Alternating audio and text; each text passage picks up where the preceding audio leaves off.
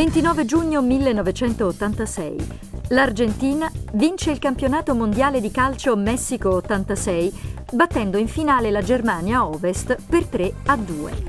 Una partita che consacra ancora una volta Diego Armando Maradona come il calciatore più forte al mondo. Al 32 minuto è il difensore argentino Brown a realizzare la prima rete. Il raddoppio, ad opera di Valdano, giunge al 56esimo.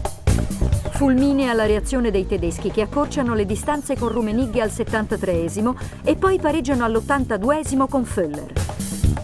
Quando si pensa ormai che la partita sia destinata ai tempi supplementari, Maradona, con un passaggio acrobatico, serve la palla a Burruciaga che trafigge con freddezza il portiere avversario. È l'88 minuto. L'Argentina è campione del mondo.